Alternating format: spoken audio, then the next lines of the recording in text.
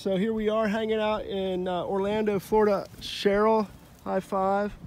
Yeah. And Rob Greenfield, you guys are both backlit heavily by the sun.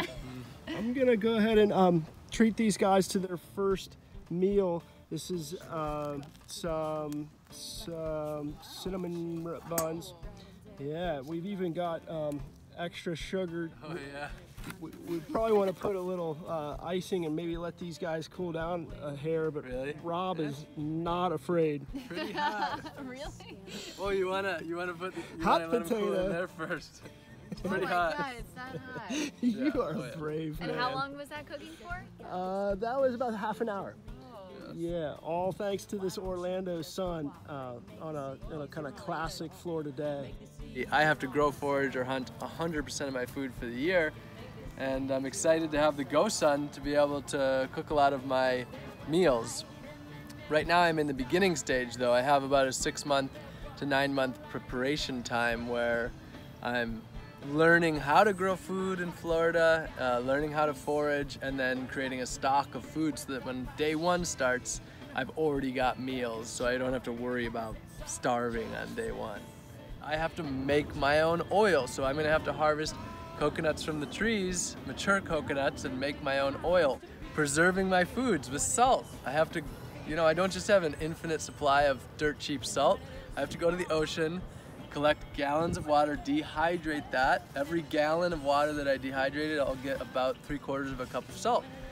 So it's every little aspect of our food system, starting to understand that, deeply analyze it, and really deeply get connected with food in a way that is really hard to fathom until you start to really take apart all the strings of the entire globalized industrial food system that we live in. So the, the best use of solar energy ever right here. These folks are really practicing what they preach. There's no dryer that gets on the Energy Star rating system. For some reason, that appliance falls off. This one's not on there? Well, yeah, exactly. It ought to be. Yeah. This is about 1,000 times more efficient than burning electricity. I was super fortunate to spend the day with Rob Greenfield. Seriously inspiring, humble guy that's really doing what he can. Just real basic, smart, simple, motivated, conscious.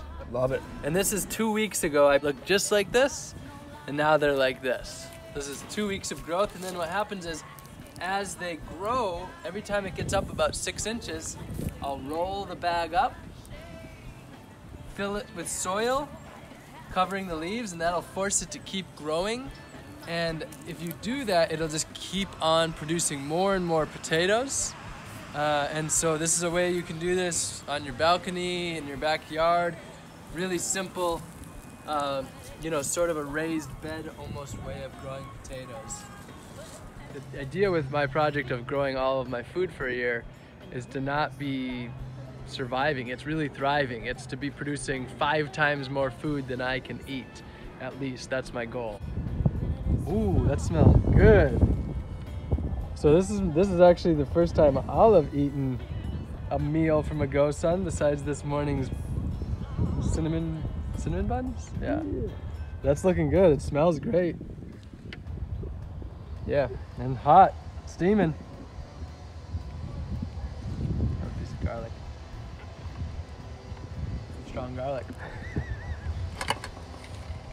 I'm excited. So this is um, prickly pear cactus. You know, most people walk past this and never realize that this is a delicious, delicious fruit. You gotta get the spikes off of it, but that's not hard. Just, it's really a pain to have these stuck in your tongue.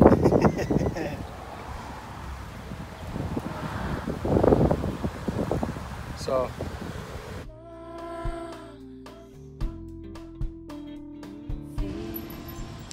So, grocery stores throw away billions of dollars worth of food, and uh, a lot of the times the dumpsters are just full of perfectly good food.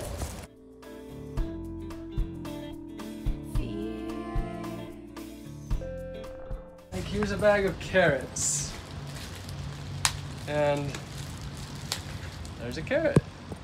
Pretty darn perfect carrot. Now those baby carrots aren't so good. Yeah, there's actually quite a few good ones in there, but it's a little moist. Moldy cheese, maybe avoid. Acorn squash that you can cook and that has an outer shell protecting the insides, you're pretty darn safe. So it's really food common sense. Now, I'm going to come clean with you folks. Dumpster diving is intriguing. But better, Rob took me to a place where he was growing fresh food right in the suburban. If you don't eat these greens, just put them right back in the ground. No garbage needed. Nature doesn't have garbages. And you can eat this right on the spot. Rob Greenfield really is just being himself and living free.